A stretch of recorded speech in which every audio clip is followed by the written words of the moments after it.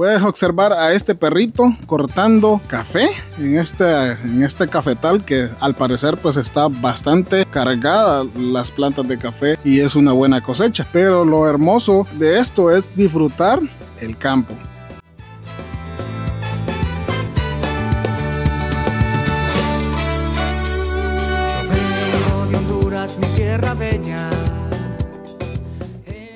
Después de un arduo trabajo en cortar café, pues aquí el perrito está cansado y nomás está descansando debajo de ese bonito árbol de café que está cargadito. Pueblos humildes encantadores, bendita la tierra de mis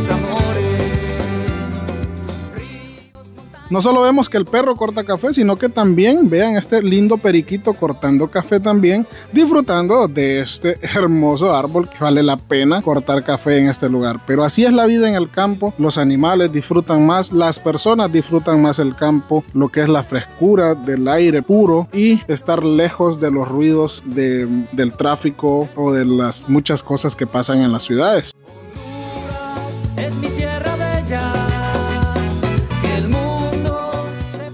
Las personas pues pasan muy alegres disfrutando lo que es el corte de café y muchas actividades que se hacen en el campo. Ustedes pueden observar todo el trabajo que se hace.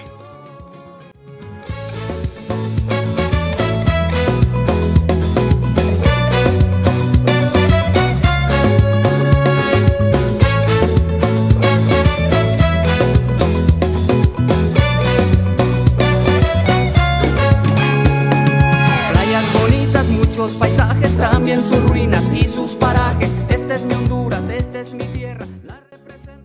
Y así de hermosa es la vida en el campo. Así nos muestra esta chica, que su nombre es Sonia. Él nos muestra sus hermosas fincas, su hermoso lugar en el campo y nos muestra las cosechas de sus fincas. Vean ustedes qué hermoso vivir en este lugar y ver estos palos de, café bien cargados. Es una belleza. Muchos cortaron café y se emocionaban cuando miraban estos árboles cargaditos de café. Nos emocionábamos porque rapidito llenábamos la tumbilla y nos íbamos felices para la casa con nuestro dinerito. Así que la vida en el campo es hermosa. Para las personas que lo disfrutan, qué bendición. Para los que no la podemos disfrutar, pero solo la podemos ver, pues aquí está una muestra de que vivir en el campo es lo más hermoso que puede existir en el mundo.